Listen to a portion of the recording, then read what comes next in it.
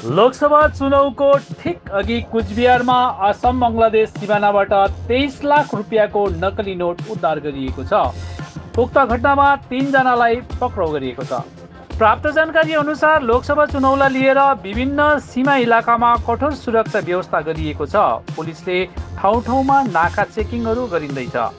यसै क्रममा शुक्रबार राति गोप्य सूचना पाएर बक्सिरहाट थानाको पुलिसले बक्सिरहाट थाना अन्तर्गत सङ्कोस इलाकामा एउटा असम नम्बरको वाहनलाई रोके। यसपछि छानबिन गर्दा वाहनमा एउटा ब्यागभित्र एउटा गिफ्ट प्याकेट देखेपछि पुलिसलाई सन्देह लाग्यो।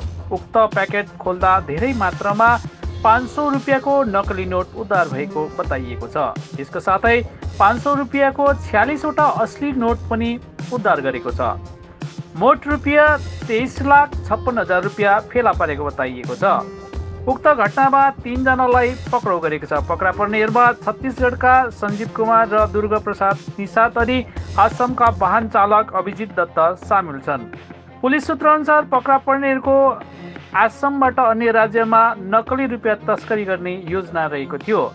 आज आरोपीहरूलाई तुफानगञ्ज सत्र न्यायालयमा पेश गरियो। न्यायाधीशले तिनीहरूलाई जहाँ न्यायालयले दस दिनको पुलिस रिमान्डमा पठाएको छ। গতকাল সংকোচ নাকা চেকিংয়ে যখন অন্যান্য গাড়ি সমস্ত চেকিং চলছিল,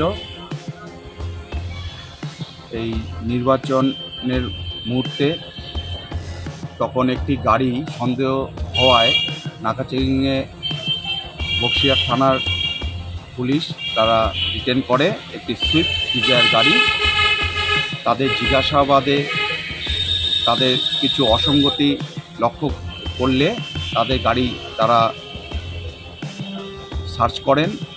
তখন ওই গাড়িতে চালকসহ আরও দুইজন, মোট তিনজন এদের কাছ থেকে এদের প্যাকেটে কিছু টাকা উদ্ধার হয় এবং সেইগুলোর যথাযথ কৈফিয়ত তারা পুলিশের কাছে দিতে পারেনি, যথাযথ কাগজপত্র তারা দেখাতে পারেনি।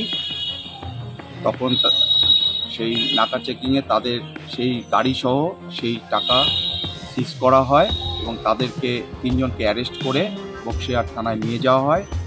আজকে তাদের তিনজনকেই তুফানগঞ্জ আদালতে প্রডিউস করা হয়েছে এবং বক্সিয়ার তরফে, পুলিশের তরফে তাদের দশ দিনের পুলিশি হেফাজতের জন্য দরখাস্ত করা হয়েছে এবং তাদের তিনজনের পক্ষে জামিনের দরখাস্ত করা হয়েছে।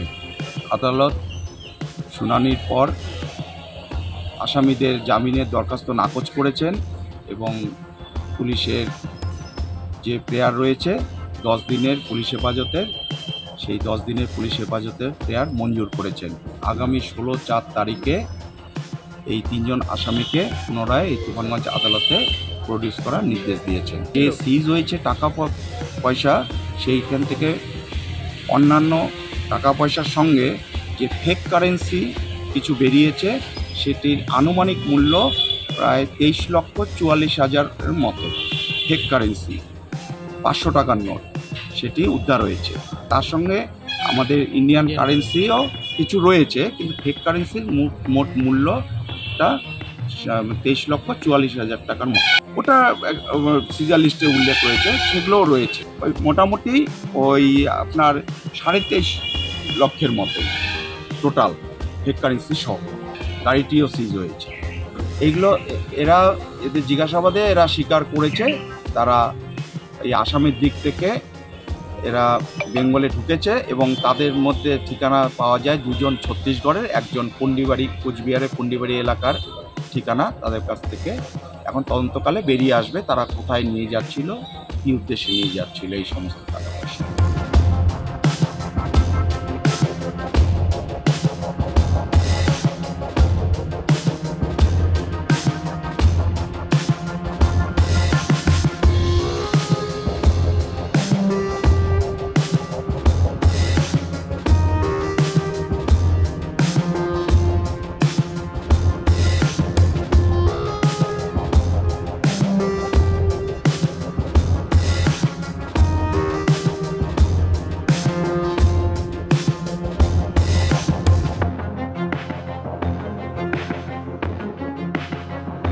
छ